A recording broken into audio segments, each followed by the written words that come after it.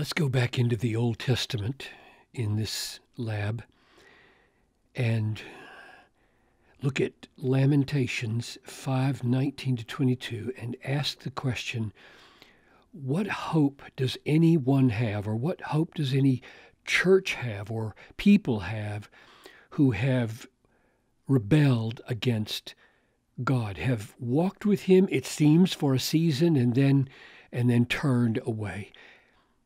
Can they return? How do they return? How does God return them? And we'll look at one key word and two key clauses and then broaden out our our look to confirm what we've seen. Father, many of us, all of us, wander from time to time. What is the hope we have that we will not wander away from you? Or if we have wandered, what is the hope that we could return? Show us, I pray, in Jesus' name. Amen. So, you know, Lamentations is, is one of the uh, most tragic books in the Old Testament. Uh, God has wreaked havoc on the apple of his eye, Jerusalem, and this is the way the book comes to an end. But you, O Lord, reign forever. So, Jeremiah, probably the author Jeremiah, is, is giving God glory, even though he's utterly puzzled at what God is going to do. But you, O Lord, reign forever. Your throne endures to all generations. And then he, he expresses his perplexity. Why do you forget us forever? Why do you forsake us for so many days? And then this is his remedy, if, if it could be restore to us, restore us to yourself, O Lord, that we may be restored. Renew our days as of old, unless you have utterly rejected us and you remain exceedingly angry with us. So here's the key word restore us. And I could pull rank here, which is not good to do, because I know the Hebrew behind this, and literally it is cause us to just turn, cause us to turn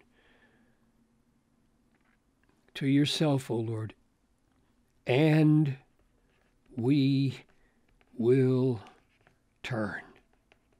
Now, you can't see that. That is, you can't see the Hebrew, but my contention is if you just think about the context here, you will see that's the meaning of restore. Couple of observations. Um, notice, it, it doesn't say restore us to the land.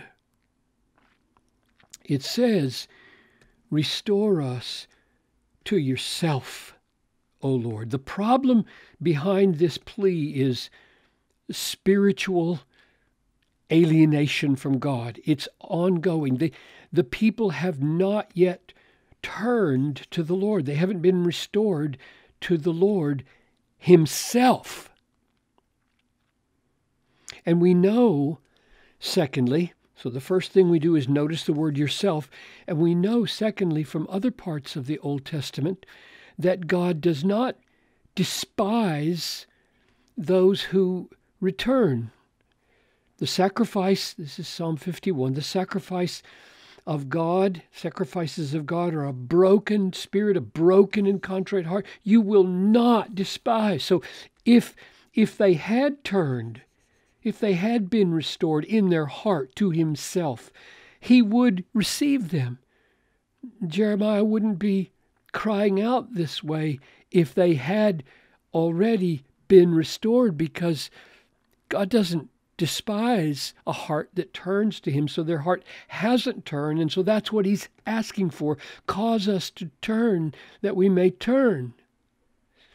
And the third way to get at that is to ask wow that sure puts a lot of uh, prerogative and initiative into the hand of god. Well any of you who've tasted how horrible it is to be drawn away by sin knows that's our only hope if God is that sovereign. And so we ask Lamentations, is God that sovereign in your way of looking at things? And we, we go back to chapter 3 and we read, Who has spoken and it came to pass unless the Lord has commanded it? Nothing gets spoken and achieved unless the Lord has done it. Is it not from the mouth of the Most High that good and bad come? In other words, God ordained all those horrible things that came upon Israel, and God does good. So, sovereignty of God is assumed by this author when he says, Oh God, take your sovereignty and cause us to turn to you, restore us to you, that we may be restored. Cause us to turn, that we may turn.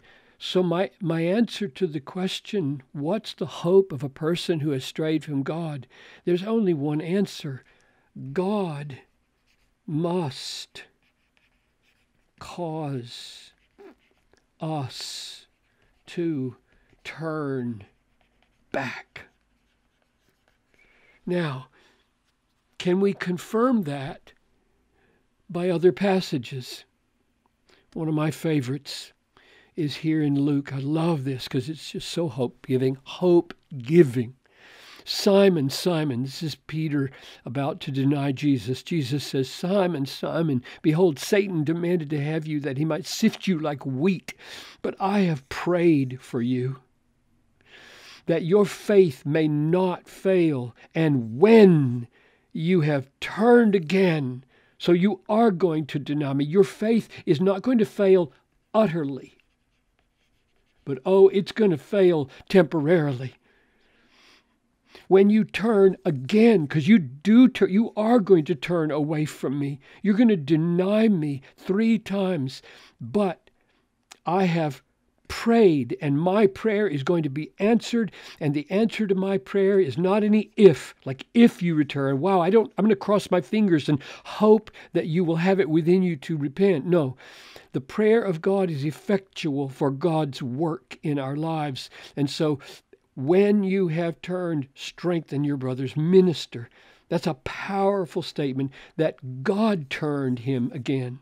God is the only hope of turning us, us Simons and Peters, back to God. So, how does God do it? How does God rescue us? He does it by interceding through Christ for us. He gives Christ to die for our sins, and then Christ prays for us, intercedes for us. So, this Simon, Simon, Satan demanded to have you, but I have prayed for you. That's what Jesus does today, according to Romans 8 34. But there's another means that God uses to bring us back. James 5 19 to 20.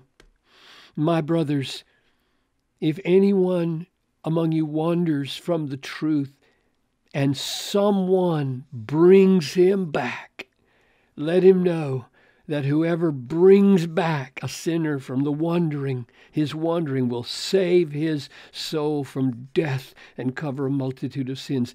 God uses people.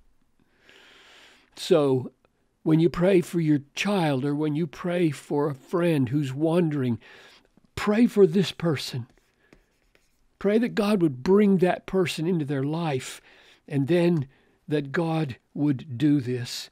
Cause them to turn, O God, that they may turn. That's our only hope. God's decisive, restoring, causing to return work. He does it by praying for us through Jesus, and He does it by sending people to come get us.